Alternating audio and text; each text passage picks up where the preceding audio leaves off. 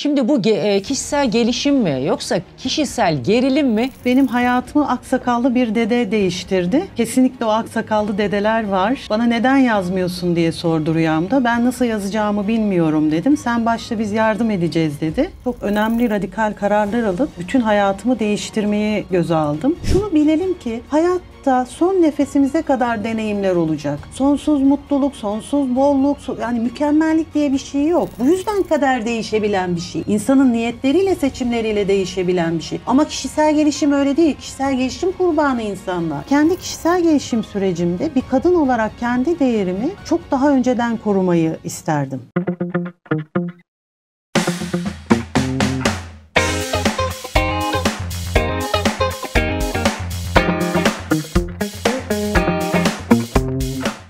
Herkese merhabalar. Magazin Noteri YouTube kanalında yine sizlerle birlikteyiz. Yine çok ilginizi çekecek bir program. Yıllardır e, birlikte zaman zaman görüşmesek de hep kaldığımız yerden devam ettiğimiz bir isim. Onu hem sosyal medyada hem ekranlardan hem programlardan çok iyi tanıyorsunuz.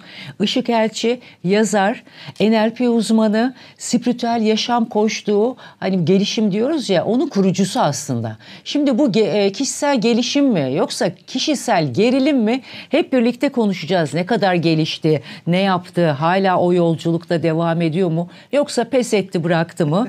Gerilim mi yaşıyoruz, gelişim mi yaşıyoruz?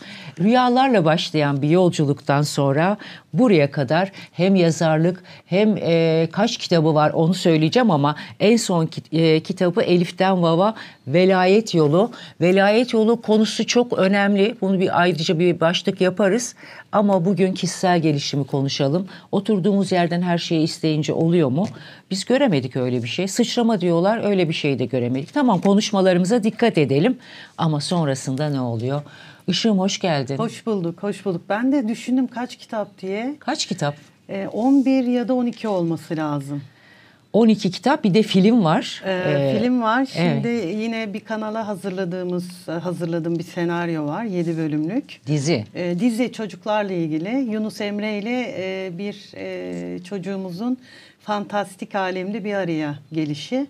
E, ben vatanımı çok seviyorum biliyorsun ve kendi değerlerimiz üzerine de bir şeyler yapmayı çok sevdiğim için hem böylece çocuklarımıza da Yunus Emre'yi anlatabilmek, e, o öğretiyi onlara aktarabilmek için e, büyük ihtimal animasyon e, olacak.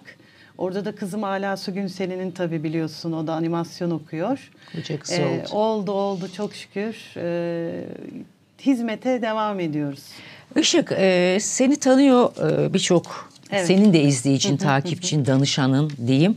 Ama senin rüyalarla başlayan bir yolculuğun var ki o yolculuk seni buralara getirdi. Kesinlikle. Ee, evet. Hem hayatın değişti, hem evet. bakış açın değişti, evet. hem düşüncelerin değişti, konuşman evet. belki olumlu yönde tabii ki olumsuz evet. hiçbir şey evet. söylemeden ama zaman zaman böyle sinirlenip e, o toplumsal şeylerde de seni en başta görebiliyoruz. Evet, evet. bayrak Öyle. açtığım bile var televizyonda haberlere çıkmıştım evet. biliyorsun. Öyle bir durumunda ee, var. Çok seviyorum vatanımı, değerlerimizi, bayrağımızı, ezanımızı. Ee, ve bunun içinde gerçekten saflarda olduğumu düşünüyorum. Son nefesime kadar da olacağım inşallah. Evet benim hayatımı aksakallı bir dede değiştirdi. Ee, kesinlikle o aksakallı dedeler var. Bana neden yazmıyorsun diye sordu rüyamda. Ben nasıl yazacağımı bilmiyorum dedim. Sen başta biz yardım edeceğiz dedi ve sonrasında e, iktisat eğitimini yarım bırakıp dramatik yazarlık eğitimi aldım. Ben misyonumun hep yazarlık olduğunu düşünürken ilk kitabım çıktıktan sonra rüyalar üzerine seminerlere davet edildim. Ve sonrasında da zaten böyle çok farklı bir yolda. Hani bu yolu ben seçmedim hep söylüyorum. Ee, seçtirildim ya da seçilmişim.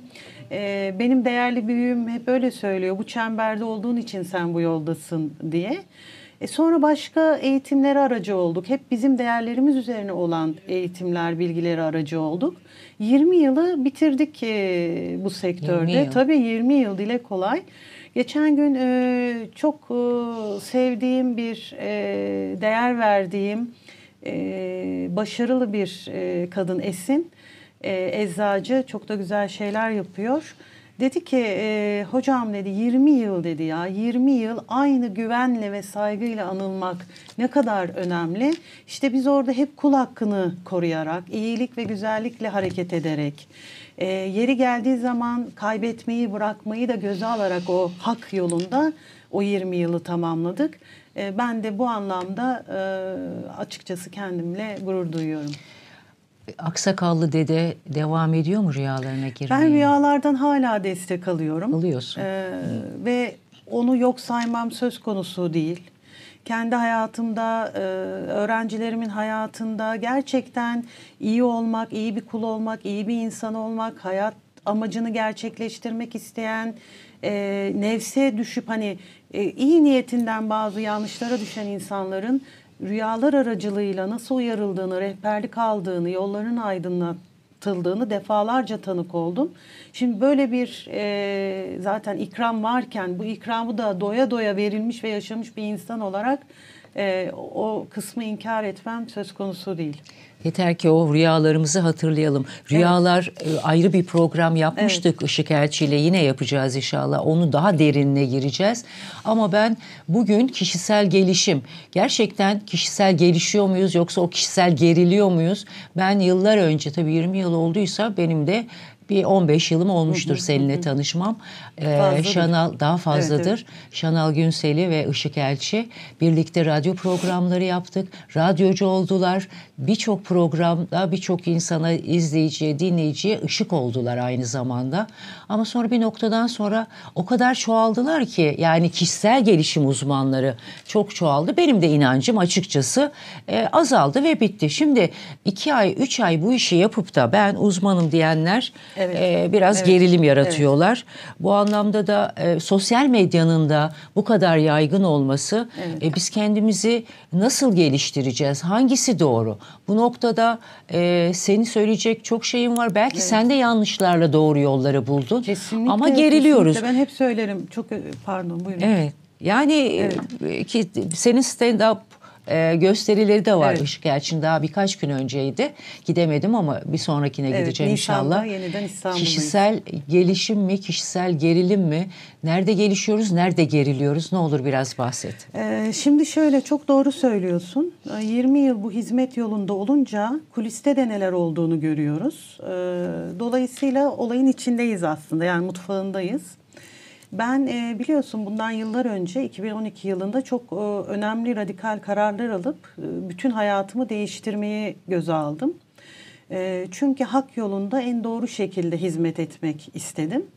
Ve Rabbime de dedim ki yani bu hizmet yolundaysam eyvallah sen doğru bir şekilde burada olmamı sağla. Yok değilsen ben e, helalden olan kazancı hep tercih ettiğim için ben limonda satarım, bir kafede de çalışırım. Ben çok şükür dolu bir insanım. Yani bir odada yaşadığım zamanlarda da sarayda yaşamış gibi oldum.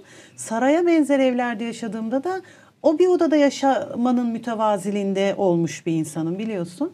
E, o yanlışları görünce tabii ben e, de yepyeni bir sayfa açtım. İşte o sayfaya da Elif yolu diyorum ben. E, ve kendimi de tamamen tevhide adadım. E, fakat günümüzde ben de çok fazla canlı yayınlara çıkmıyorum biliyorsun.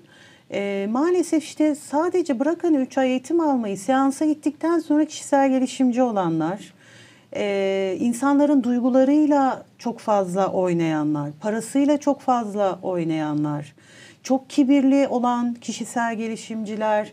Yani öyle ki onlara baktığınızda Tanrı'yı oynuyorlar ve e, mükemmeli oluşturuyorlar. Sanki hani ununu elemiş, eleğini asmış gibi.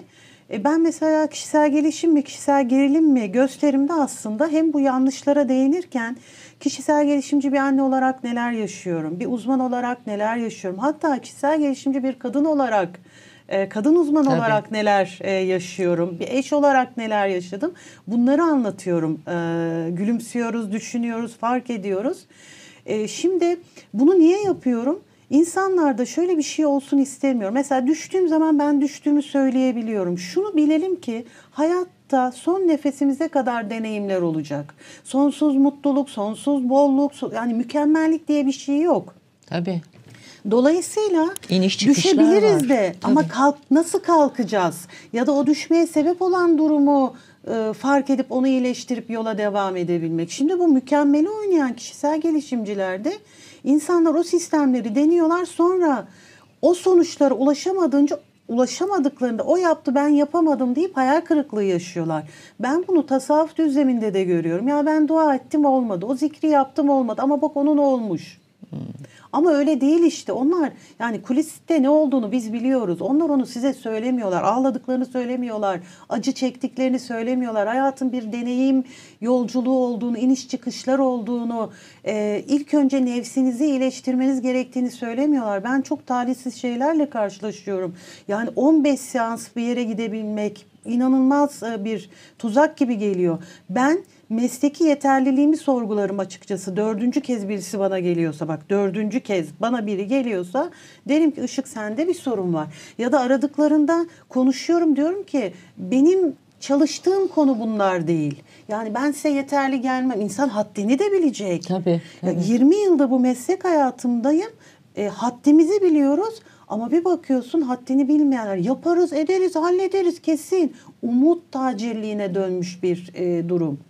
Ama gerçek şu ki, gerçek şu ki e, sevgili Seher, tevhid e, bilincinde olmazsa insanlar, hani o imanın şartlarından ahirete iman kısmı, o ahirete iman etmedikçe insanların rahatlıkla kullanabildikleri e, bir malzemeye dönüşüyorlar. Korkuyla, endişeyle, kaygıyla, korkuyla hareket ettikleri sürece maalesef ki o örümcek ağına yakalanıyorlar ve sonra oradan kurtulmaya çalışıyorlar. O kadar diyorum ki oraya gittim, buraya gittim, beş seans sonrası, on seans sonrası.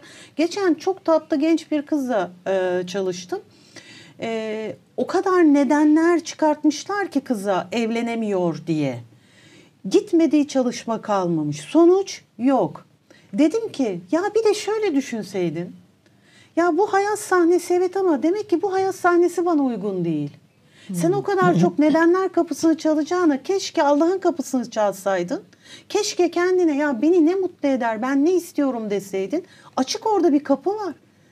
Yani bir potansiyelin var, yeteneklerin var, sevilebilecek ve sevebilecek bir kadınsın. Bu potansiyelin de var.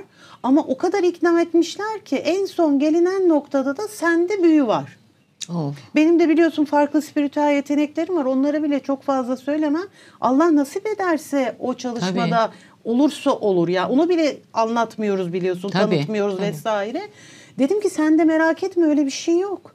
Yok öyle bir şey. Çünkü çözemedikleri noktada Nasıl vebal ama yani Tabii inancı olanlar noktada için. sende e, büyü var, sende nazar var. Ya da sen henüz onu algılayamıyorsun. Hazır değilsin. Hazır değilsin. Biz çalıştık sen iyileştin aslında. Hani nerede sonuç? Bir nerede de fahiş sonuç? fiyatlarla. İnanılmaz ben şoka evet. giriyorum. Bir de yani bakın haddi bilmek şöyle bir şey. Şimdi ben doktorlara spiritüel yaşam koşulu eğitimi veriyorum. Psikoloji lisans eğitimi aldım. O bana çok şey kattı. O mesela o eğitim bana gerçekten bu konuda da e, haddimi bilmeyi e, öğretti. Bazı şeyler bizim yapabileceğimiz şeyler değil. Ben hemen diyorum ki lütfen doktora gidin. Bu bizimle alakalı değil. Bunu biz çözemeyiz. Belki psikolojik sorunları var farkında yani, değil. Evet. Ağır depresyon e halinde. Sonra ne oluyor? Evet. Daha kötü. Yani insanlardan umutlarını çalıyorlar. İnsanlar bu tuzağa niye düşüyor? Ahirete iman etmedikleri için, dünyayla sınırlı tuttukları için e, hayatı, gelecek endişesi ve kaygısında oldukları için. Evet. Doğru söylüyorsun. Bu kadar çok kişisel gelişim uzmanları var. Evet. Sosyal medyada evet, da açtığın evet. zaman Maalesef, önüne dökülüyor. Evet, evet, evet. Ya da ne bileyim çalışmalar yapılıyor. Ama bu o kadar da mutsuz insan var. Ne evet, oldu çok peki? Çok güzel. Geçenlerde ben de onu dedim. Ya bu kadar bilgiye rağmen neden mutsuzuz? Farkındayız, farkındayız dedim. Gülhane farkındayız. Yani nereye bu evet. farkındalık yani? Seni daha iyi bir insan yapmıyorsa, seni daha mutlu bir insan yapmıyorsa hayata değer katan, hayatla ilgili sorumluluk bilinci. Hani yıllar önce radyo programında hatırlıyor musun? Bir şey söylemiştim. Türk insanı duygusal ama duyarlı değil demiştim. Evet. Duygusallık bir şey kazandırmıyor bize. Duyarlılık kazandıracak. Duyarlı olmayı başarabiliyor musun? Mesela rüya yorumunda da öyledir. Biz rüya yorumunu yaptığımız zaman iyileşme bekleriz. O rüya daha mutlu, daha potansiyelini sana fark ettiriyorsa, seni değiştiriyorsa, hatta rüyaların kalitesini bile değiştiriyorsa, Tabii. daha berrak rüyalara seni götürüyorsa ne güzel. O zaman o rüyanın Doğru yorumu, yoldasın. e, doğru ama e, bir e, mail gelmişti bana. Ya hocam dedi sürekli dedi bana dedi aile dizimi yapılıyor dedi. Her gittiğimde yeni bir şey çıkıyor dedi. Soğanın zarı gibi. Bir de neden e, sorusu insanı vesveseye daha çok e, sürüklüyor biliyor musun? Neden neden neden? Ya belki bir sebep. Sebebi ne? Kendi nefsime bir bakayım ama harekete geçeyim. Şimdi neden sorusu şeytanın en sevdiği soruymuş. Oo. Niye biliyor musun Seherim? Çünkü neden dediğin anda aslında Allah'tan yana şüpheye düşüyorsun. Ee, İslam'ın bir şartı da ne? Şüphe etmeyeceksin. Allah'a iman İnanmak. etmek. Yani şüphe duymamak. Bir şartı ne? Kadere, hayra ve şerre iman edeceksin. Yani İslam'ın şartı ne kadar güzel. Ha. Yani ben şer olunca da neden demeyeceğim. Var Rabbimin bunda bir bildiği var. Bu hayır. Biz kişisel gelişimde bunları yok sayıyoruz. Şimdi e- evrenden iste. Tamam Rabbinden iste var. Evren inancına göre değişebilir. Evrenden iste olsun. E Evet. tamam ben evrenden istiyorum böyle bekliyorum. Böyle bir şey olabilir mi? Tabii ki düşüncelerin, e, cümlelerin, olumlu aktarımlar, e, aile dizim, dizilimi diye bir şey çıktı. Ne yapacağımızı bilmiyoruz. Karma çıktı. Atalardan aktarım çıktı. Ben de diyorum Oo. ki benim ne suçum var Şimdi bunda? bunların hepsini stand-up'ta Daha- işliyoruz evet, biliyor musun? şey- Mutlaka gel. Gelemedim geleceğim. Mutlaka gel. Şimdi hangisine inanacağız? Doğru hangisi diye de Şimdi şöyle, sorguluyoruz. e, aslında ben hemen Ehli Beyt'e dönerim. Yani sevgili Peygamberimiz sallallahu aleyhi ve selamın hayatına bakarım. Hazreti Ali zaten hayranım, aşığım. E, Fatma Hanımız öyle olsun. Onların yaşadıklarına baktığım zaman ya Peygamber Efendimiz bir çocuğu hariç bütün evlatlarını e, toprağa veriyor. Ne zaman dönüp de hangi atamdan ötürü ben bunu yaşadım demiş yine hizmet etmeye devam etmiş. Yine bir kul olarak e, imanını e, imanı için nefes alıp vermeye devam etmiş. Şimdi İslam öyle bir şey ki tamamen sorumluluk sende yani kulluk bilinci sorumluluk almak. Tevhid bilinci Allah'la arana hiçbir şey ve hiç kimseyi koymamak. Yani ben mesela stand-up'ta onu anlatıyorum. Şöyle bir sahne düşünün diyorum. Aşağıne yukarıdayım. Allah diyor ki ne yaptın ey kulum? Valla ne yapayım? Üç kuşak önce yamuk bir dede vermişsin onunla uğraşıyorum. Ya şimdi ondan özgürleşme nasıl olacak? Ama ne güzel söylüyor Kur'an-ı Kerim. Atalarınızın diyor yaptıklarından siz sorumlu değilsiniz. İyiliklerini devam ettirebilirsiniz diyor. Bir de ben şöyle bir şey yapamaz mıyım o zaman? Bu bilgi bende. Oh ne güzel yan gel yat. Çıktım yukarı diyorum ki ama ne yapayım yani sen bana öyle bir dede verdiğin için ben de hırsız oldum. Sen bana öyle bir hala verdiğin için ben de bunu yaptım. Suçlayacak atalarım var arkada. Hayır, Evet. tam tersi İslam e, kişinin kendi sorumluluğu, seçimleri, niyetleri, davranışlarıyla bu yüzden kader değişebilen bir şey. İnsanlığı, insanın niyetleriyle, seçimleriyle değişebilen bir şey. Ama kişisel gelişim öyle değil. Kişisel gelişim kurbanı insanlar. E ama öyle atasözleri de var Işık.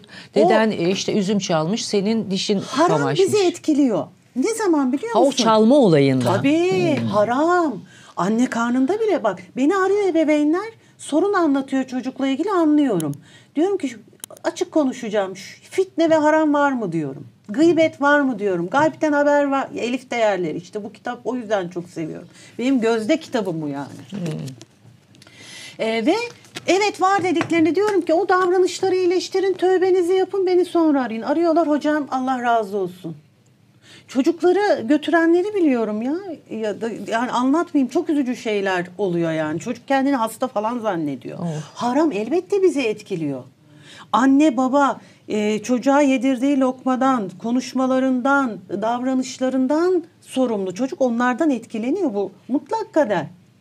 Fakat öbür türlü senin şu an yapamadığın ya da yaptığın şeylerin sorumlusu başka bir sistem değil. E bir de aile dizimi şöyle. Bana çok kızıyorlar zaten biliyorsun. Sevmiyor kişisel gelişimciler beni. E, alanda açılım yapıyorlar. Ondan sonra diyorlar ki al bunu kalbine koy. Koy koy nereye kadar koy? Yani benim hayatıma ne fayda sağlayacak? Ya da bunu bildim ne olacak?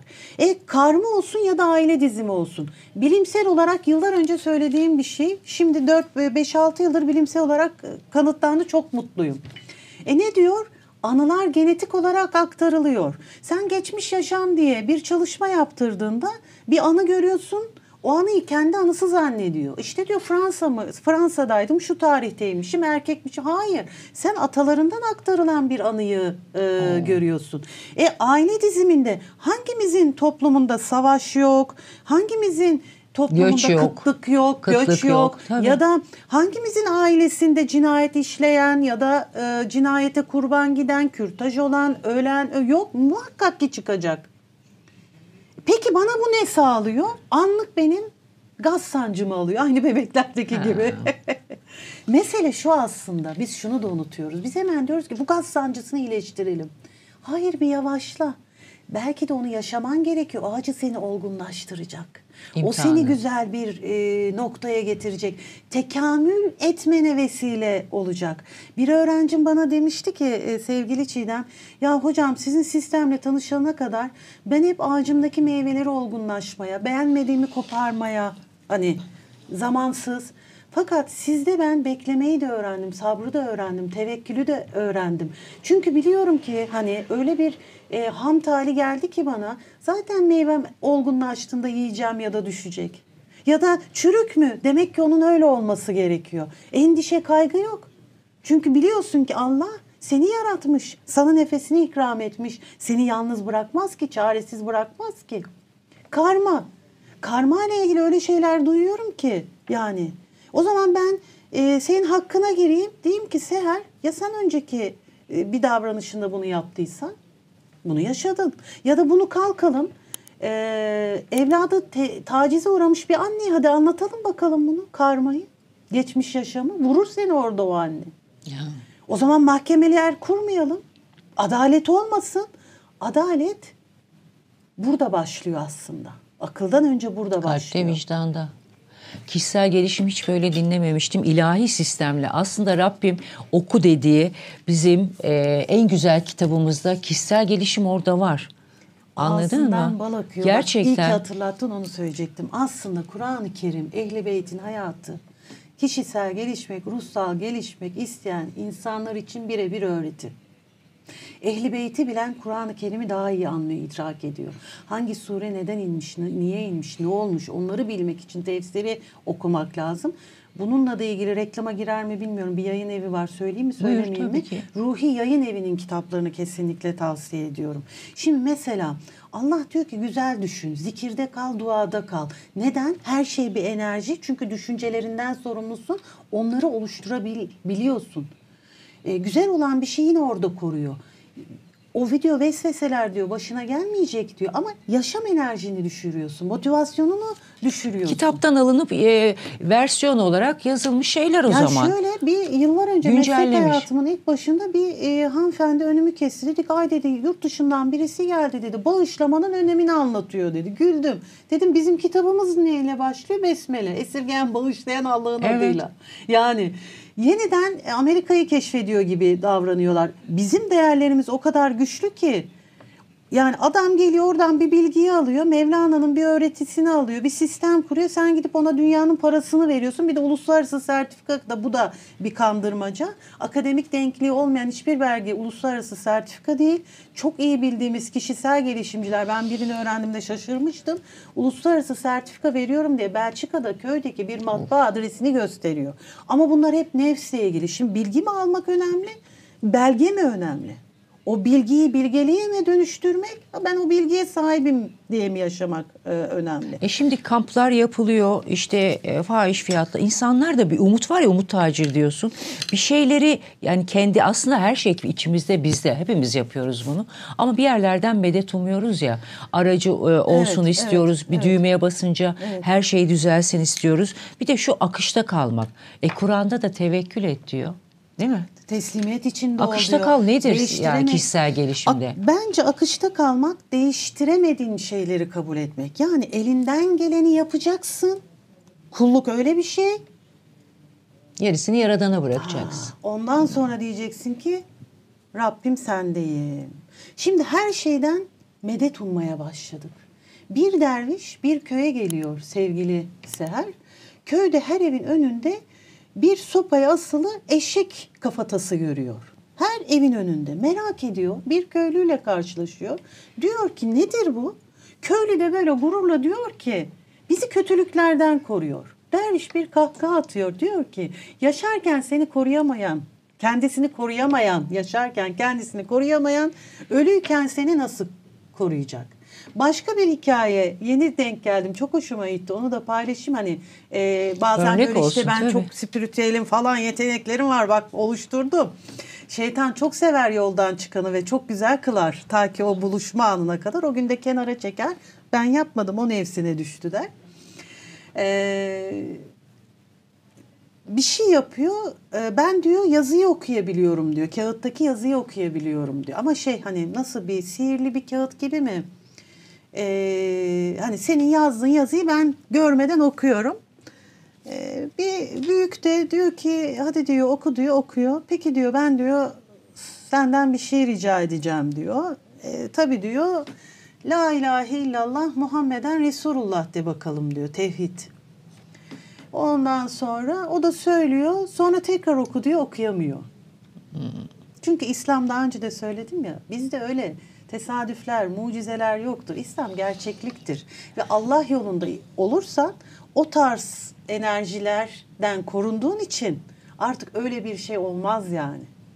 Tevafuk nedir Işık? Şimdi o sen tesadüfler deyince aklıma direkt e, o kelime geldi nedense. Tevafuk eee, insanın mutlak kaderinde olacak olanı olduran, o eee, buluşmayı sağlayan. Bizim bugün birlikte olmamız Tesadüf değil yani. tesadüf değil bir tevafuk. Ya da elimize herhangi bir yerden bir kitap geçti, güzel bir tevafuk. Ben bir rüya hatırlamıştım mesela. Uyandım böyle parçaları yerine oturtturamadım. O gün de bir filme gittim. Filmde bir baktım aynı bir sahne benim rüyamdaydı. Tevafuk. Uyanacağız hemen. Ne fark etmem gerekiyor? Farkındalık. iyileştirmem gerekiyor? Allah'ın buradaki ikramı nedir? Biz her şeye artık dert, sıkıntı, keder olarak bakmaya başladık. Ama toplum olarak biz şu anda öyle değil miyiz? Baktığın zaman Korku ya ekonomi çünkü bizi. konuşuyoruz, işte deprem korkumuz var, geçim sıkıntımız var. Şimdi insanlar bu programı seyreder "E, ama bunları yaşıyorum diyecek. Evet. Buradaki e, toplumsal olarak yaşadığımız olayı neye bağlıyorsun? Şimdi şöyle pandemi hepimizi etkiledi. Deprem hepimizi etkiledi.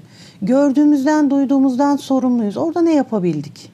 Yani eee, ben yıllar önce televizyon programımda bir söz paylaşmıştım. Şimdi o eee, ilginç bir şekilde Mevlana'nın sözü olarak paylaşılıyor.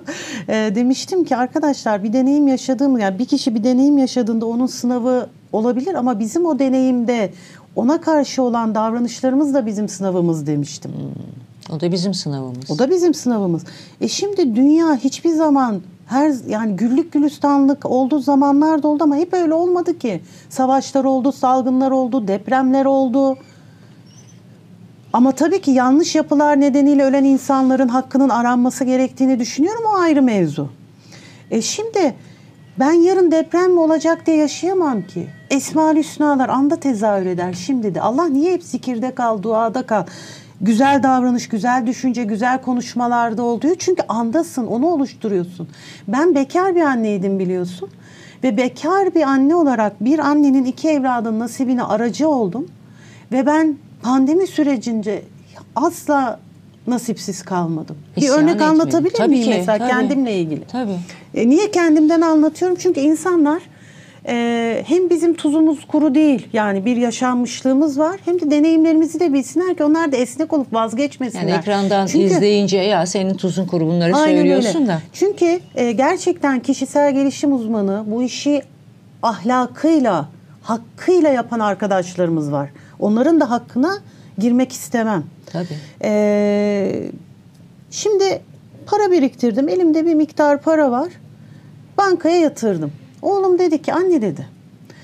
"e, her şey hani pandemi sürecinden bahsediyorum. Herkes anne dedi, kaygıda. Euro yap ya da altın al dedi. Yapamam ben dedim. Neden dedi? Çünkü dedim ben altın ya da euro yaparsam tanımadığım bir insanın masasından bir dilim ekmeği çalmış olurum dedim. Ama anne dedi bu paraya sen ev alamayacaksın dedi. Bak ev fiyatları tavan yapıyor dedi. Allah büyük oğlum dedi. Görünen ve görünmeyen kul hakkını da korumamız lazım. Kendi kul hakkımızı koruyacağız. Görünen ve görünmeyen. Yatırım için euro da alınıyor, altın da alınıyor. Şimdi, Şimdi bak, anlatıyorum. Ezberi bozdun. Ezberi bozduk. Evet. Yani tevhid müthiş bir şey ya. Of. Allah'la aranı hiçbir şey hiçbir şey yani kimseyi koymamak yani Rabbinden emin olmak müthiş. Ben kendimden o kadar emin değilim. Ben kulum nefse nefse düşüyorum. Gel zaman git zaman İzmir'e gittim ev arıyorum. Ev fiyatları uçmuş. Beş katı. Öyle evler gösteriyorlar ki yani parayı sen ne dersin çöpe atıyorsun. Yağmur yağıyor. Ee, öyle bizde dayı mayı da yok. Arkamızda. Arkamızda. Allah'ım dedim ya. Sen büyüksün. Vardır bir hikmetin. Vardır bir bildiğin. Bir sokağa daldım. Bir emlakçı gördüm. Hiç kağıt falan yok. Girdim. Dedim ki ben ev arıyorum şu fiyata. Ya dedi çok zor dedi. Biraz daha çıkabilirseniz dedi. Şu fiyata bir ev var dedi. Benim de tam böyle 50-50 yani. Hani insan ev almak istiyor da bir kenarda Tabii, da kalsın da. Tabii tabii. e, Garantim olsun. Eve gittik bir gördük. Aman Allah'ım ev çok güzel. Asansörlü, otoparklı. Üç artı bir çifte balkon kapalı. Ben böyle ne oluyor falan dedim ya nasıl bir ev bu? Eve geldim. Dedim Allah'ım sen büyüksün dedim. Açtım telefon alıyorum evi dedim. Evin gerçek fiyatının yüzde kırk altını aldım. Of. Mucize Çünkü bu. ben biliyorum çok ev gezdiğim için ev fiyatlarını bi- biliyorum. Olay şu. Evi satanlar başka bir ev beğeniyorlar. O ev için bankaya krediye başvuruyorlar. Bile ben dedim ki Allah'ım bana kredi bak faiz dedim yani günah diyorsun beni faize ben konuşuyorum böyle. Madem yasak yani sakın beni muhtaç etme oraya. Onlar bankaya başvuruyorlar. Banka sadece e, o bir kısmı karşılıyor. Diğer karşılı diğer kısmı karşılayamıyor. Onlar da diyor ki evi çok beğeniyorlar. Kaçırmayalım biz bu evi bu fiyata satalım. Ve ben aylar sonra yani eğer o parayı euroya ya da altına yatırsaydım hemen hemen hani o evin gerçek fiyatı olacaktı. Ama Allah bana e, o evi cebimdeki paraya göre aldırmayı nasip etti. Mış gibi değil de gerçekten yürekten inanmak ilahi sistem böyle çalışıyor ama biz güvenemiyoruz. Hep kaygılarımız, korkularımız var ya, acabalarımız var İşte ya bunu işte bunu e, yapmak önemli. için nasıl çalışmalar Yani yapalım? biz ne yapıyoruz biliyor musun? Gidiyoruz daha çok nasıl para kazanabilirim? Daha çok nasıl mutlu olurum? O nasıl olur bu nasıl olur? Ömür bitti. Bitti. Halbuki ya nasıl daha iyi bir insan olabilirim? Allah beni hangi konularda uyarıyor? Ben, uyarıyor. Ben ne yapabilirim? Nefse nerede düştüm? Ee, bak şurada gıybet yaptım. Mesela ben fitneyi öğrendiğimde fitneyi hep çok başka zannederdim. 2-3 yıl fitne üzerine çalıştım. Ne kadar dedim Neymiş? ben fitne veriyormuşum ya. Neymiş fitne? Yani şu bile aa bak falanca sana şöyle yan baktı seni kıskanıyor galiba Of. demek bile bir fitne. Ya. Yani biz bazen arkadaşlık içerisinde güzel konuştuğumuzu zannederken fitne tohumları ekiyormuşuz. Şimdi bir şey söylemeden önce on kez düşünüyorum. Bu nereye gider o insanın? Çünkü her şey enerji. Ben enerjiye inanıyorum. İnsanda öyle bir şey var. Çünkü kaderi değiştirebiliyor insan. Bir mutlak kader var. Bir de yaşadığı deneyimlerde aldığı kararlarla, niyetlerle, seçimlerle e, yaşamını dönüştürebildiği bir kader var. İnsan kendini bilecek, ehli beyti bilecek e, ve kendi nefsiyle ilk önce ilgilenecek. Dünya dünyevi düzlemde olan oluyor zaten. Nasibin senindir. Yani ben biliyorsun e, 35 yıl önceki e, e, nişanlanıp ayrıldım. Eşimle yollarım kesişti. 35 yıl yani bu bir tesadüf olabilir mi? Bu tevafuk çünkü bir araya gelişimiz çok ilginç. Yani ben evliliği hiç düşünmediğim için Allah öyle güzel bir plan yapmış ki ancak öyle bir tevafukla yani ben orada anladım ki evlen diyor. Yani e, o tevafukla ben e, evlendim. Nasıl- vaktimiz var mı Nasıl bilmiyorum. e, karşılaştınız? Şimdi Üçüncü evliliği bu arada. Evet. Işık bu konuda kısmetlidir. evet Allah Allah hakkı Rabbim. üçtür diye üçü Üçüncüyü, Üçüncüyü ama aldık. Hiç 35 yıl önceki Evet.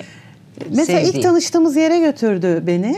Evlendikten sonra alnımdan öptü. Hatırlıyorsun değil mi? Seni öpmek istemiştim, izin vermemiştin Oh. dedi. Ben de ona dedim ki işte görüyorsun değil mi dedim. Bir öpücük dahi olsa nasipse yıllar sonra gelip seni buluyor. Ben Oh. nasibe inanan bir insanım. İzmir'e gidiyorum. Bir öğrencimle karşılaşıyorum. Onunla yürüyüşe çıkıyoruz. Ve o bana fıstık diyor. Ben de diyorum ki ya biliyor musun benim bir sevdiğim vardı. Biz kavuşamadık. O bana hep fıstık derdi. Bir buçuk ay sonra telefon geliyor. Size fıstık diyenin adı Tufan mı diye. Of. Ne oluyor dedim. Ne hikmetse Allah'ın hikmeti işte. Ee, öğrencimin eşi ayrıldı eşiyle Tufan bir arkadaş sofrasında tanışıyorlar. O eşine olan özlemini dile getirin, getirirken Tufan da diyor ki benim de bir sevdiğim vardı kavuşamadık. Ben ondan başkasını sevmedim ölene kadar da onu seveceğim. Oh. O da diyor ki niye arayıp sormuyorsun? Arayıp soramam. Adını değiştirdi zaten yazar oldu İstanbul'a gitti deyince. İsmi ne diyor? Işık Elçi. O benim diyor eski eşimin hocası ama o diyor 10 yıldır ayrı. Bak 10 yıldır bir duvar var. Yıkmayan Rabbim yıkmıyor Evet. işte. Ben onu ev- e, evli zannediyorum. Evliymiş gerçi o zaman. Ee, o beni evli zannediyor. Bakıyormuş ara sıra böyle mutlu görüyormuş. Hani şey yapmıyor falan. Ama e, ben o öğrencimle bir araya geliyorum. Öğrencimin ayrıldığı eşiyle o bir yemek sofrasında. Sonra beni aradı. Buluştuk. Ben yine onu bir terk ettim. Dizi bana- film gibi. Sonra tekrar bana mesaj attı 10 gün sonra. Ee, bir dahaki buluşmamızı yazıyorum deyip tarihi verdi. Arkasından da e, işte bir dahaki buluşmamız Yasin-i Şerif e- eşliğinde kabir fotoğrafı gönderince dedim ki aa dedim bir dakika ışık ölüm var bir gün ölüm haberini duyabilirsin. Sen bir e, dene en azından keşke demezsin. Aradım onu tamam çıkalım dedim. Ha, ar- niye dedim aradın dedim mesaj attın. En azından bir sesini duyayım. Öyle olmaz dedim. Olursa çıkarız. Ben de onu kabul etmiyorum. Olursa evleniriz dedi. Evlendik. Bir buçuk yıl oldu. İşte bu mesela muazzam bir tevafuk. Allah o duvar o zaman mesela 10 yıl o mesela üzülüyor. 10 yılımız diyor gitti. Bilseydim koşar gelirdim. Gerçekten- Ben senin bekar olduğunu diyor. O 10 yıl gerçekten boşa giden bir zaman mı? Bence değil. O ilahi sistemde. Değil işte. Evet. Ben de diyorum ki yani bu şekilde biz bir araya geldik. Allah demek ki ikimize de o duvarı ördü yani. Nasip şimdiymiş. Öncesinde olmayacakmış bu zaten. E neyin kaygısını du- duyacağız ki? Neyin e, endişesini duyacağız? Tevhid yoksa kaygı yoktur. Tevhid nedir? Tevhid aslında bir kulun korunma programıdır. Tevhid kulu korur ve iman sağlar. Biraz aç ne olur o konuyu. Şimdi tevhid Allah'ın kudretini kabul etmek, onun isim ve sıfatlarının e, sıfatlarına şirk düşecek herhangi bir davranış ve söylemde bulunmamak. Tevhid kendi değerini bilmek. Yani kendini değersizleştirecek hiçbir şey yapmamak. E, kaygı, korku, endişeyle hareket etmemek. Tevhid İslam'ın o altı şartına iman etmek. Zaten iman ettiğin anda bak ahiret imanı olunca dünyevi düzlemde endişelenmiyorsun ki. Ya Dert etmiyorsun yani. Ben mesela o gün ev alamasaydım da dert etmezdim. Derdim ki demek ki almamam gerekiyor. Şimdi benim oğlan diyor ki anne diyor sen her şeyi otomatik pilota bağladın diyor. E, Bir gün bir şey oldu böyle taşınma olayı. İlla sözleşme yap dedi bana. Yapmadım ben de. Tedirgin bu. Arıyor işte ya diyor adamlar eşyalar alıp kaçtıysa falan. Sonra gruba kardeşine dedik ki ay dedi biz niye üzülüyoruz ki dedi. Nasıl olsa dedi adamlar eşyaları çalıp gitseler de annemiz onu bir hayra bağlar dedi. Bir de şey var Hayır yani. şer Allah'tan e, yani. garantici olmayın hani kişisel gelişimde de var ya e, yani ya, e, değiştirmeniz gerekiyorsa taşınmanız gerekiyorsa o işten Evet. çıkmanız gerekiyorsa çıkın deniyor Evet. kişisel gelişim garanticilik ama hepimizde garanticilik var neye güvenerek yapalım gibi cümlelerimiz Evet, var evet, ya evet. E, ya, sürekli de hani senin gibi de yaşamıyoruz ki bu hayatı o noktaya nasıl geldin Ben galiba çocukluğumdan beri öyleydim. Çocukluğumda da hep Allah'a mektup yazar, sorgulardım. Sonra bu yolda olmak yani gerçekten ben kişisel gelişimci olmak için yola çıkmadım. Ben yazar olmak için yola çıktım. Rüyam öyleydi. Ama ilk kitabımdan sonra her şey çok değişti. Sonra işte Esma-ül Hüsnalar, tekamül kaynakları, spiritüel yaşam koştu. Ee, şimdi gerçekten aslında bir mücadele veriyoruz. Yani e, kişisel gelişim mi, kişisel gerilim mi stand-up'ımızda aslında bir amacımız da o mücadeleye devam etmek. Doğru yanlış Ee, birbirine girdi. Orada, Sosyal aynen medya. öyle. Ee, çünkü çok fazla e, yani ben ne bir kişiyi bile tevhide döndürebiliyorsam dünyanın en zengin insanı hissediyorum kendimi. Ben Allah'tan hiç umudumu kesmedim. Allah'a öfke duyduğum zamanlar da oldu. Acı çektiğim zamanlar da oldu. Kendimi hırpaladığım zamanlar da oldu. Düştüğüm zamanlar da oldu. Benim hayatımın en güzel, en şükür duyduğum anında ben trafik kazası geçirdim. Ama neden ben seni bu kadar severken başıma bu geldi demedim. Allah tatlıları sunarken şükür edip acıyı verdiğinde de İsyan etmek. öyle bir şey ki bak öyle bir hikaye biliyorum. Bir efendisi var. Sürekli her şey önce o tadıyor. Ee, bir gün bir şey oluyor, acı bir şey veriyor. Tadı, efendisi tadıyor ona veriyor ama yani tam hatırlamıyorum ama yani şunu demek istiyorum. Acıyı verdiğinde bile Allah'a dönüp ne lezzetliymiş diyebilmek, bunu yapabilmek. Verin. Ben dünya ile sınırlamıyorum hayatımı. O yüzden de gelecek kaygım yok benim, endişem yok. Allah beni yaratmış. Bana güvenmedi ki. Ben Allah'a güveniyorum. Evlatlarımı emanet veriyor bana. Bana e, güvenip yaratmıyor ki. Ben bir hikaye e, okudum. Allah beni böyle işte rüyalar, kita- kitaplar hep böyle hazırlıyor. Böyle bir mesnevi hikayelerin olduğu kitap. Allah'ım dedim nasibimde ne varsa duam edip açtım. Allah Allah dedim. Emanetle ilgili bir şey. Ee, bir ailenin tek çocuğu var. Vefat ediyor. Kadın diyor ki sakın diyor eşim çok düşkün. Ben söyleyeceğim eve gelince diyor.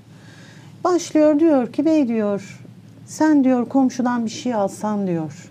Onu geri verirsin değil mi emaneti diyor. Tabii diyor. Böyle hani örneklendiriyor.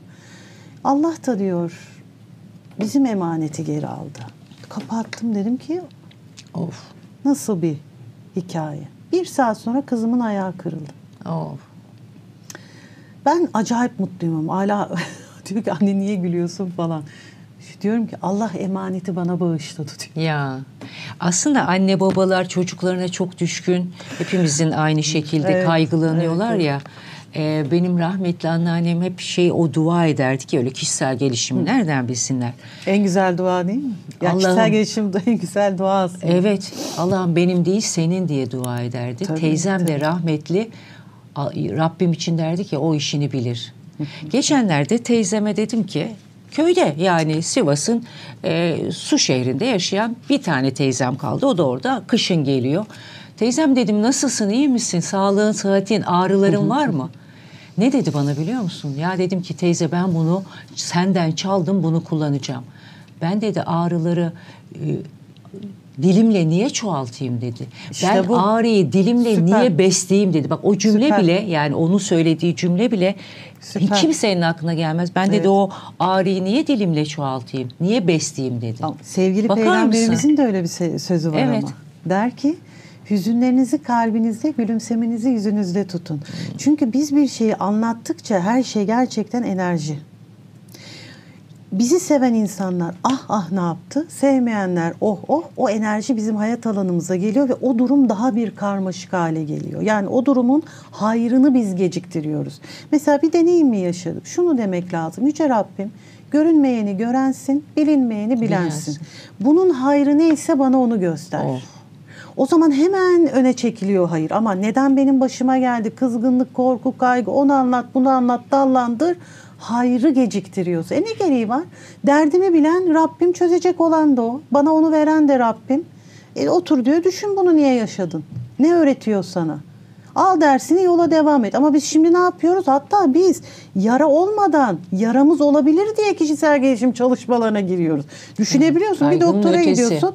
Doktor diyor ki bir hastalığın var mı? Yok. Ama düşünüyorum benim başım ağrıyabilir. Sen bana şimdiden ilaç yaz içeyim. Ama bu senin gelişimine, bedenine zararlı, ruhuna zararlı. Kişisel gelişim de öyle. Şimdi bir de öyle bir şey var. Daha olmadan olabilir düşünülüp çalışma yapılıyor Nasıl yani. tuzaklar bunlar? Çok çok ciddi Işık- para tuzakları. Para evet. tuzakları Rabbim korusun ama hepimiz de bir yerlerden medet umuyoruz. En doğruyu bulmayı nasip etsin Amin, Rabbim amin, hepimize.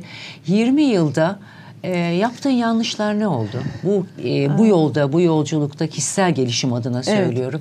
Ya bunu keşke yapmasaydım. Ben niye bunu yaptım dediğin e, en büyük yanlış neydi? Yani e, aldığım e, eğitimlerle ilgili e, çok e, memnunum. Ben ilk başlarda bir yani ismini vermek istiyorum bir enerji çalışması almıştım. Onu yapmıştım mesela. Onu yapmak istemezdim. Çünkü şirkmiş. Ee, onu yapmak istemezdim. Çok enteresan. Şirk olduğunu öğrenmeden önce bırakmıştım zaten. Burada bir yanlışlık var diye. Şimdi para kazanmak o kadar kolay ki 20 yıl bu meslekte olunca seherim. insanlar çok güveniyorlar ve çok saygı duyuyorlar. Ee, sevgili Güçlü Metin hep bana der, hocam sizin yerinizde bir başkası olsa insanları çok rahat kullanabilir diye. Ben bir şeyin yanlış olduğunu öğrendiğim anda bunun tövbesini eden, telafi eden, bunu ifade eden ve hiçbir zaman ya ben kişisel gelişimciyim, buradan da bu parayı kazanayım. Bana mesela bazen eğitim teklif ediyorlar, şu eğitimi verelim size yapın. Bakıyorum yok. Yani orada e, 20 yıllık bir portföy var. E, orada işte önemli olan niye sen bu yoldasın? Hayırlı hizmet etmek için. Diğer mesele e, Allah'la ilgili işte kiranı ödemek, karnının e, doyması vesaire onlara e, takmıyorsun. O enerji çalışmasını yapmak istemezdim. E, Modern Zamanın Cadısı diye bir kitabım var. Onu yazmak istemezdim. İyi. Bilmem orada bazı makaleleri sevmiyorum. Çok böyle uzak geliyor bana.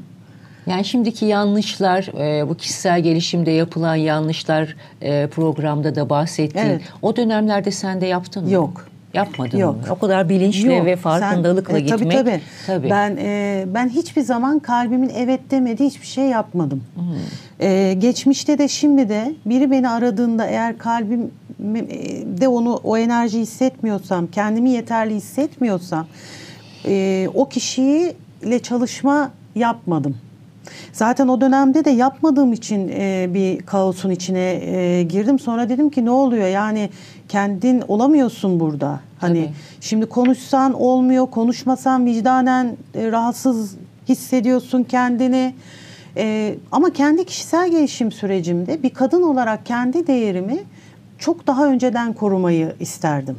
Bir de o var tabii. Kendi ke- kişisel gelişimle Evet, kendi kişisel gelişimimde e, kendi değerimi, kendi e, yeteneklerimin sonucunda kazanmış olduğum parayı, e, değerini bilmeyi ve haklarıma sahip çıkmayı isterdim. Hangi bir 10 düşün- yıl önce. Hangi düşünce engeli oluyor? Hani bu kişisel gelişimi de Şimdi burada kişisel işlemiş. gelişim öyle bir şey ki... e, Değersizlik duygusu mu? Değer yani Korku şöyle mu? aslında insan geliştiğini zannediyor ama bunu ne zamana kadar zannediyor biliyor musun Seher? Bir olay yaşadığında gelişip gelişmediğini anlıyorsun. Ya da e, bir şeyin sende olmadığını zannederken bir şey yaşıyorsun. Perde açılıyor. Aa, bu bende varmıştı. Yani bir tekamül süreci Evet. ya hayat. Mesela benim annem beni paçalı donlarla büyüttü. Ya. Ben böyle kedimeli paçalı donlar e, giydim. Bir gün arkadaşlarımla buluştuk. Rüzgardan etek uçunca hepsi şöyle bir baktı. Ben zannediyorum ki paçalı don giymek herkesin yaptığı normal, Normal. bir şey. Öyle tepki verince dedim ki ne oluyor ya paçalı don sizde yok mu falan diye bir de kafa tutuyorum. Meğersem yokmuş. Kendimce bu e, enerjiyi kızıma yansıtmayacağımı düşünüyordum ya. Yansıttığım anı yakaladım ben. Oo. Kişisel gelişim ben oldum bittim değil ki yani nefs mertebeleri var. Hem bir e, yaşamımızda genel her olaydaki bir nefs mertebesi var. Bir de hayatımız tekamül sürecinde geçtiğimiz bir aşamaları var. Ben kızım ayaklandığında ona e, silip beyaz şortlar aldım. Yani. Etek ve elbise giydiğinde altına giysin diye. Bir gün diyorum ki ala giysene çok rahat edeceksin. Ala giysene çok rahat edeceksin. Ay dayanamadım ya rahat edeceksin giy dedim. Döndü bana baktı biliyorsun benim kızı. Benim en iyi öğretmenlerim e, çocuklarımdır. Döndü bana şöyle bir bakış attı. Sen kendi rahatlığın için istiyorsun dedi. O anda fark ettim ki o durumu taşıyorum o inancı. Hemen onun üzerine çalıştım. Şimdi kişisel gelişim işte bunları sağlıyor. Hemen fark edip düzeltebilmeni sağlıyor. Kişisel gelişim fark ettin sonsuza kadar sen mükemmel bir insan olacaksın. Doğru bir insan olacaksın sonsuz mutlu olacaksını sağlamıyor. Sana araçlar veriyor. Sen kendin hemen onları e, bir spiritüel yaşam koşusunda ben hep söylüyorum size bir e, alet kutusu veriyoruz ki yolda karşılaştığınız durumları çözebilin. Bize ya da başka bir şeye İhtiyaç bağımlı duymayın. hale gelmeyin. Gelmeyin. Ben şimdi kusursuzum diyemem ki iki yıl sonra yaşadığım bir deneyimde bambaşka bir şey mi fark edebilirim? Bunu kabul edebilmek, kendini böyle sevebilmek. Şimdi bunu yapamadıklarında işte o kusursuzu oynayan kişilerin karşısında biz yapamadık, anlayamadık. Kur'an'da ben orayı okudum ama anlayamadım, yetersizim. İnancını, umudunu Aşılıyor. yitiriyor Evet, insanlar. Oradaki Ben o yüzden her şeyimi anlatırım yani. Öfkemi de, yanlışımı da, şeyimi de, kaza geçirdim anlatıyor. E niye anlatıyorsunuz? Olabilir. Yaşanılacak İnsanım. bunlar. Ama anlatmıyorlar ya. Diyorlar ki ya nasıl ko- kusursuz bir insan ya. Bak ben onun gibi olmadım diyor. İlahlaştırmak maalesef en E, büyük Kişisel şirket. gelişimde çıkan kitapların çoğu kopya kitaplar. Ben Rehber Rüyalar kitabında rüya günlüğünü anlatıyorum. Bir hanımefendi rüya günlüğü üzerine kitap çıkarmış birkaç yerini değiştirip. O da Yani ayrı yeni bir bir, bilgi de yok biliyor musun Evet. ee, kişisel gelişimde. Ona çalma değil esinlenme deniyor ya ayrı bir Esinlenme. hakkı bu. Peki, esinlenelim. öyle deniyor ya. Bir de sen kend, sen değiş e, hayatın değişsin. Böyle bir şey var mı? Sen değiş, çevren değişsin. Ee, şimdi değişim bizle ilgili. Evet. Ama çevre değişir mi değişmez mi bilmiyorum. Bununla da ilgili komik bir anım var. Ee, bir gün karı koca randevu aldılar. Hanımla çalıştık hanımefendiyle. Baktım böyle beyefendi çok sıkılıyor. Ee, takıldım böyle dedim enişte kendi isteğinle, özgür iradenle burada değilsen ben seninle çalışamam dedim. Bu benim için çok önemli. Vallahi değilim dedi. O zaman olmaz dedim. Hanımefendiye döndüm dedim ki bakın kişisel gelişim, dönüşüm bizimle ilgili. Biz kendimizi iyileştireceğiz. Ama biz kendimizi iyileştirdik diye de e, gidip e, kılıcımızı çekip insanları biçmeyeceğiz. Herkesin bir tekamül süreci var. Kimin kime ne fayda sağladığını, ne öğrettiğini bilemeyiz. Bizimle ilgili bu. E, 15 gün sonra randevuya bu sefer kayınvalidesiyle geldi. Dedim ki sizi alamam çünkü sizin amacınız ben değişeyim, iyileş, iyileşeyim değil. Etrafım değişsin. Onlar bana fayda sağlasın. Tamamen bizimle ilgili. ilgili. Doğru yani. Ee, peki cümlelerimizi kurarken hayatın içinde nasıl yani olumlu e, düşünelim olumlu olsun. Gerçekten öyle Evet, mi oluyor? evet. E, isyanlarımızı ne yapalım? E, öfkeleniyoruz, Allah'a trafikteyiz. Evet onu biraz açar Allah'a mısın? konuşacağız. Evet. Allah'la sohbet edeceğiz. Dertlerimizi ona anlatacağız ya da başımız ağrıyorsa doktora gideceğiz. Yani işin ehlini anlatacağız. Herkes anlatmanın hiçbir faydası yok. Yani hayattaki cümlelerimizde hep Çok olumlu önemli. mu Şimdi e, gerekiyor? evet. O da o. Yani e, yaşayıp yaşamamak değil mesele. Negatif hayata baktığımızda maalesef ki etkiliyoruz. Ruhsal olarak, duygusal olarak kendimizi etkiliyoruz. Daha sonra işte bunlar e, hastalıklara, psikolojik rahatsızlıklara sebep olabiliyor. Rabbim niye diyor zikirde kal, duada kal? Bak ben zikrettiğimde mesela ya Allah, ya Allah dediğimde ne oluyor? Andayım. Ne geçmişteyim, ne gelecekteyim. Andayım. Müthiş. Benden iste diyor her şeyi diyor. Benden iste diyor. Sınırı yok. Sınırı yok. E, o bir öğrencim dedi ki ama dedi hocam dedi evrenden isteyince daha çabuk oluyor. Niye dedim evrenden istiyorsun? Allah meşgul olabilir dedi. Dedim ne meşguliyette. Niye dedim daha çabuk oluyor biliyor musun? Çünkü şeytanın en sevdiği tip. Aa yoldan çıktı ben onu hemen yapayım da bir daha dua kapısını çalmasın. Bizi en çok bozan şu Secret kit- kitabı var ya. Hayalet orada, olsun tabii. e, o hayalet Çabasız, olsun, emeksiz. oturduğun yerde her şey olsun ama bunu YouTuber'lar iyi yapıyor. Evet, hayrı da gözetmiyorlar. Bir de e, Seyirim dikkat ettin mi bilmiyorum. Ben son zamanlarda onun üzerine kendi sayfamda da canlı yayınlar yapıyorum. Bizim değerlerimizin tersine yani daha doğrusu Allah'ın kelamının üzerine laf söyleyenler çoğaldı. Sabır isteme. Hayırlı olanı deme.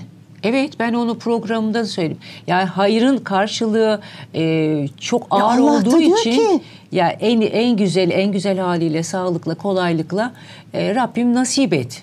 Artık duamı öyle çevirdim. Çünkü sabır Allah katında hayırsız bir şey yok ki. Bir şeyi hayırsız kılan nedir biliyor musun? Bizim niyetimizdir. Ben şimdi Seher'e selam veriyorum. Niyetim fesatlık, faydalanmak. Bitti. O hayır, hayırlı dahi olsa hayırsız olur. Bitti. Bunu yapan kim? Kulun nefsi. Ama ben sana gönülle selam veriyorsam, ben bir bardak suyu lezzet almak, sağlık için istiyorsam ayrı, Aa, bir bardak suyum olsun da hava atayım dersen ayrı. Allah katında hayırsız olan bir şey yok ki. Sabır istemek e, Rabbim sabrın karşılığında öyle bir e, olay veriyor ki sabrı getiriyor. E, belki ben onu yapım kaldıramaz. İşte e, Şimdi böyle de bir nasıl açıklamayla e, kader çabaya aşıksa sabır da çabaya aşıktır. Hmm. Şükür de öyle, çaba da, sabır da öyle. Elbette sabredeceksin ama elinden geleni de yapacaksın. Yapacaksın. Sabretme, sabır isteme. Allah yani öyle bir şey yok ki. Senin mutlak kaderinde yaşamayacağın bir şey zaten yaşamayacaksın. Bunu bir idrak etmek lazım. Mutlak kaderimde yaşamayacağım bir şey yaşamayacaksam demek ki diğerlerini oluşturan ne? Benim nefsim, benim niyetlerim, benim cüzi irade iyi ya da kötü yönde kullanmam. Ondan sonra ya ben bak bunu yaptım da Allah bana da bunu verdi. Yani aşağı ama ben şöyle bir sahne yine oluşturuyorum. Rabbim yukarıdan bakıyor. bakıyor diyor ki aa diyor ya diyor Ayşe diyor çok mutlu diyor ya da Ahmet çok sabır istedi diyor ben ona bir bela vereyim diyor. İmtihanlar Allah'tan belalar kulun kendisinden. Öyle bir yaratan yok ki ben e, Allah kul ilişkisini anne çocuk ilişkisiyle örneklendiririm. Bir anne çocuklarına bakıp hmm, Ahmet bugün çok mutlu başarılı ayağına çelme takayım düşüreyim mi diyor. Ayşe çok mutlu onu mutsuz mu edeyim diyor elimizden geleni yapıyoruz değil mi? Karşılıksız, o tek seven için. E, varlıklarımız, ya annelerimiz Allah, diyoruz ya Rabbim onun ya anneler katı. yine bir şekilde hani, koşullu beklentiyle de sevebilir. Allah katın hiç öyle bir şey öyle yok. Bir şey yok. Koşulsuz seni seven Allah, tevhidi yaratıp aman kulum Kendini sakın değersizleştirme, kendini muhtaç hissetme, korku kaygıyla hareket etme diyen Allah tevhidi sana ikram etmişken, senin hayatını, imanını kolay tutmuşken sen nasıl de diyebilirsin ki aman bunu demeyeyim de Allah bana bunu bir Bunlar uzaklaştırıyor işte bizim değerlerimizden uzaklaştırıyor. E ben de diyorum ki ya bu kadar ayet surede bu söylüyor. Allah bunu söylüyor. Ben şimdi Mehmet'in Ahmet'inkini mi dinleyeyim? Allah'ın kelamını mı dinleyeyim? E ha, işte geçen e, gösteride e, bir hanımefendi çok güzel bir şey söyledi. Biz Sırat Köprüsü'nden dünyada geçiyoruz dedi. Doğru. Cenneti cehennemi de burada görüyoruz. Burada geçiyoruz Sırat Köprüsü'nden. Burada bir geçebilelim ee, bakalım. Ama şöyle bir dua etmek Rabbim hakkımdan her ne veriyorsan kolaylıkla, güzellikle, sağlıkla, mutlulukla en güzel haliyle ver demek kötü bir dua mı? Değil. Yani e, ama... ama o duayı yine bakın niyete geliyoruz. Evet. O duayı altında bir korku ile ediyorsak ha. o dua ne kadar enerjisi olarak yani olacak? Niyetine bakacaksın. Niyete bakacak. Yani Korkular. sen onu endişe korkuyla mı söylüyorsun? Allah'tan emin olarak mı onu talep ediyorsun? Yani e, şöyle e, düşünelim.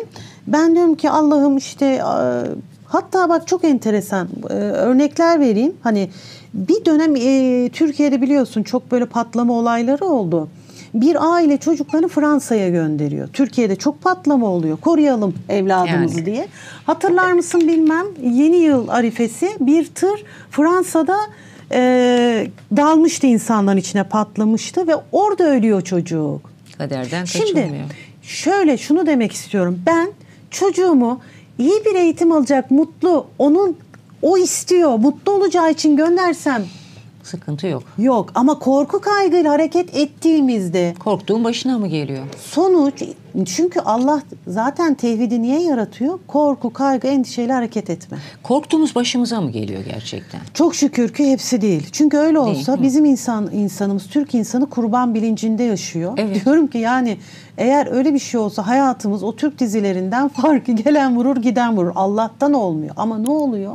Mutsuz oluyoruz. Mutsuz, umutsuz bir toplum oluyoruz.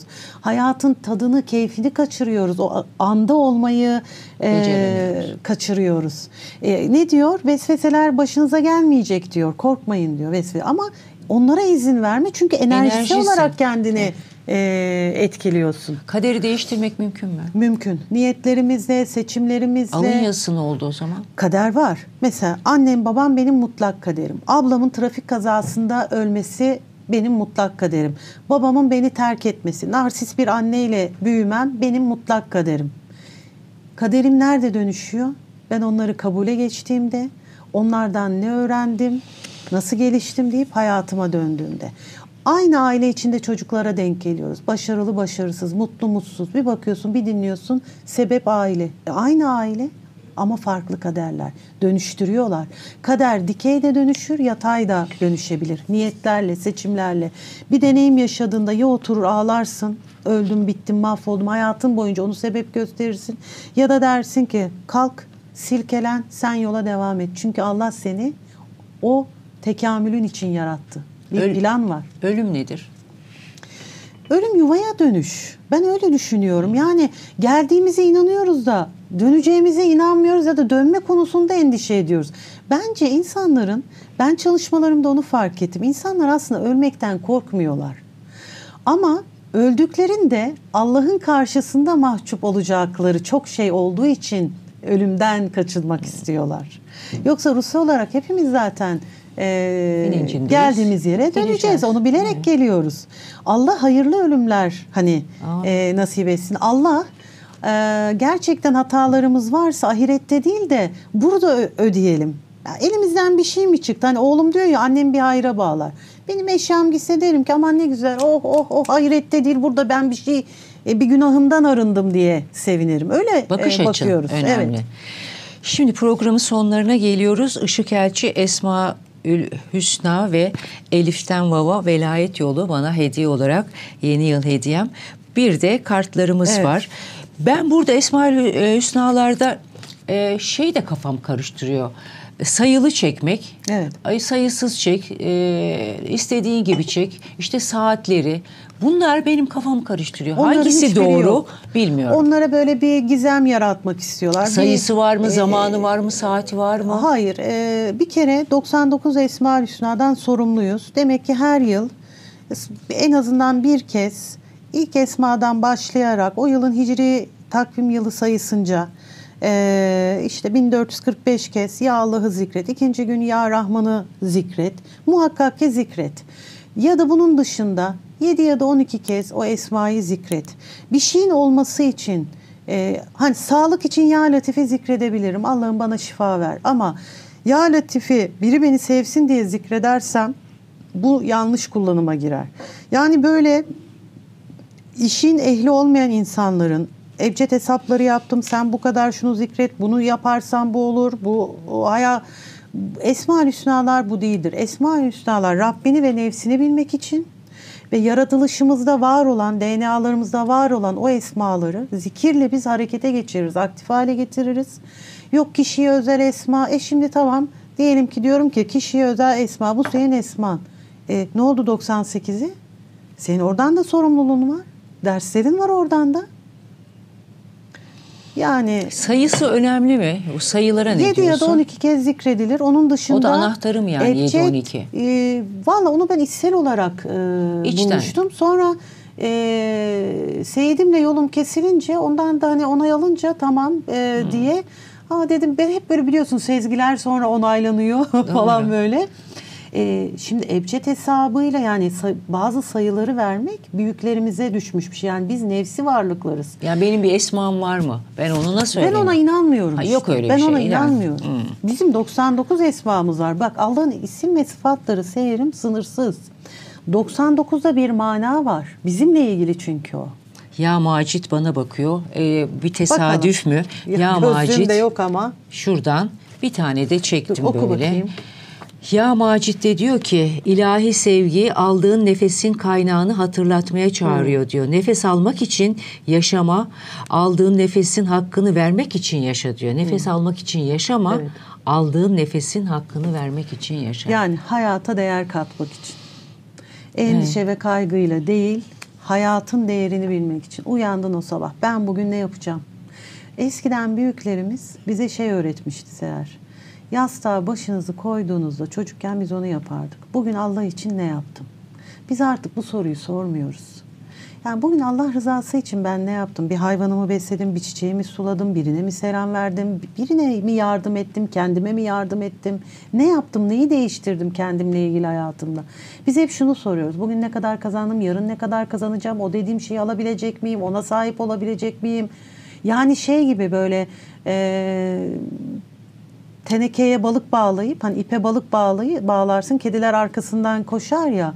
İnsanoğlu öyle yani. Biri balığı kaçırıyor. Ruhumuzu köreltip O balığı yakalamak için Yakalamak. koşarken robot haline. bir bakıyorsun son nefesini vermişsin. Eşheden la ilahe illallah. Bak bir mesaj geldi. Ya sabır. Şu aradan çektim. Konuştuk sabırla ilgili ya. Ya sabır geldi elime şu anda. İlahi sevgi tüm korkularından, endişelerinden ona sığınmanı istiyor. Güvende olduğunu hatırla diyor. Sabırdan bahsederken şöyle aradan çektim. Mesaj geldi. Şifa olsun. O Şifa zaman olsun. hazır o gelmişken yayınımızı izleyen herkese de bir dua verelim onun üzerinden. Ne olur verelim öyle E, kapatalım. tamam. Evet. 3-4 akşam yatağa uzandıklarında şu niyette bulunsunlar. Yüce Rabbim korku, endişe, kaygı duymaya, duymama, korku, endişe, kaygı duymama sebep olan tüm geçmiş deneyimlerimin şifalanıp iyileşmesine niyet ediyorum. Senin külli iradene kendimi teslim ediyorum. Oh. Yine arzu ederlerse yedi sabah sabah ezanıyla kalkıp Yüce Rabbim bilerek ya da bilmeyerek sana karşı korku, endişe duyduğum, güvensizliğe ve şirke düştüğüm her an için tövbe ediyorum. Bu durumlardan hayat alanımda oluşmuş olan tüm negatif enerjilerin şifalanması için senin külli iradene kendimi teslim ediyorum.